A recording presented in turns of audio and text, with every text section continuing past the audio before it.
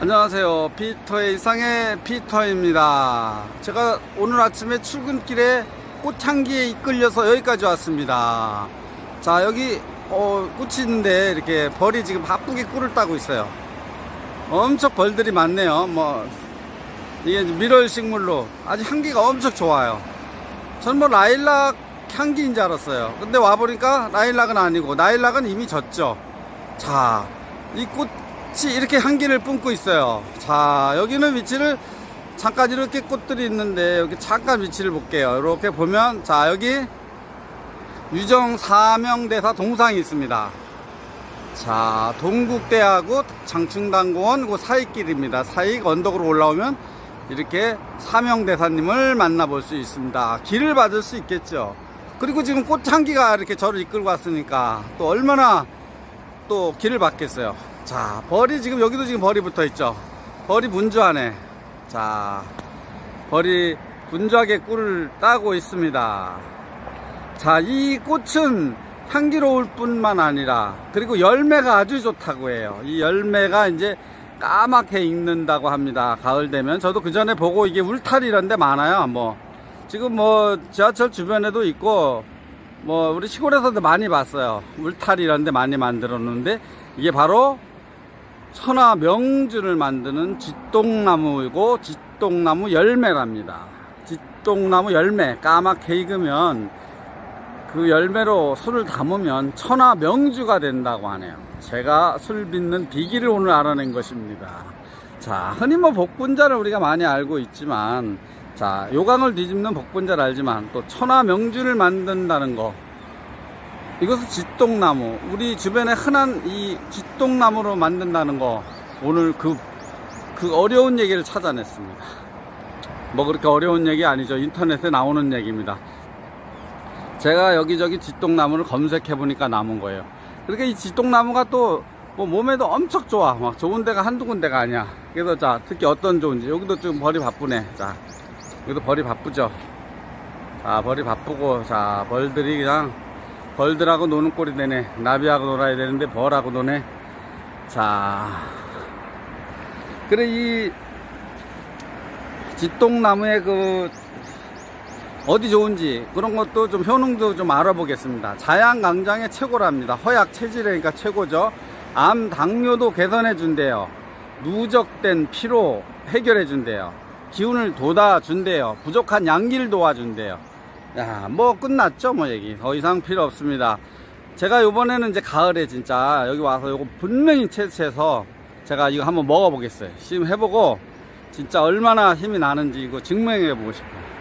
뭐 이렇게 제가 식물 찍다 보니까 여기 지금 벌 있어서 벌 계속 찍네 아니 이렇게 뭐 뭐든지 몸에 좋다고 돼 있어 식물마다 그런데 이것처럼 또 이렇게 천하 명주를 만든다는 것도 처음 들어봤어요 그래서 제가 이 천하 명주를 한번 꼭 만들어 보고 싶어요. 그리고 길을 받고 힘을 내보고 싶습니다. 너무 양기가 충만해도 문제겠지만 하여간 이제 저도 나이 들어가니까 자 에너지 보충하는 거 신경 써야 되겠죠? 매일 산로들로 다니면서 이렇게 꽃과 식물 열매를 만나고 있는 것입니다. 여기는 이제 벌써 서서히 또 꽃이 시들어가고 있네. 자 오늘 아니면 또 못 만날 뻔도 한 거야 이제. 자 여기도 자 이렇게 높아요. 여기 엄청 큰 군락이네. 동네는 이렇게 뭐 1m 안짝에 작은 그 쥐똥나무를 많이 봤는데 이거 나무가 엄청 커요.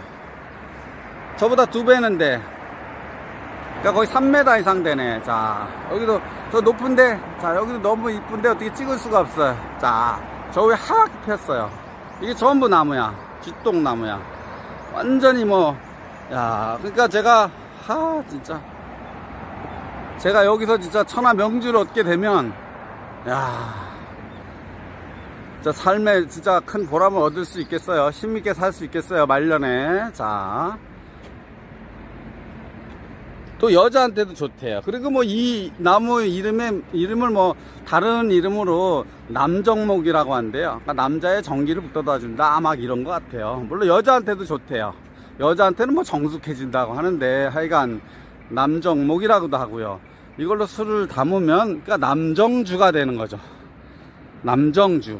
자, 진짜 말 되죠? 야, 여기 벌들 계속, 벌들. 아. 자, 벌이 뭐 엄청나네. 나무도 엄청 많아요. 자, 벌들 여기도 두 마리, 세 마리 막. 자, 벌들 구경해 보세요. 자, 벌. 벌벌 떨지 말고, 벌같이 날아서, 아니구나. 나비같이 날아서 벌같이 쏘라고 하는 말 있죠. 자, 우리 알린님께서 말씀하신, 자, 여기 그 벌들이 있습니다, 벌.